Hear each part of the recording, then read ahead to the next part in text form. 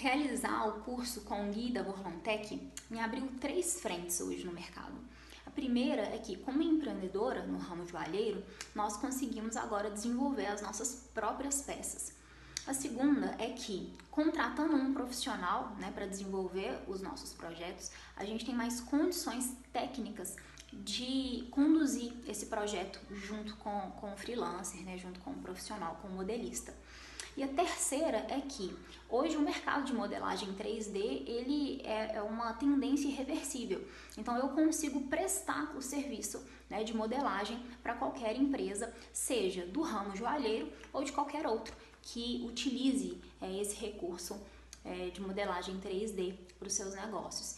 Então, foi imprescindível para o meu crescimento profissional e abertura de leques né, de atuação hoje no mercado como um todo. Super recomendo, Gui é ótimo.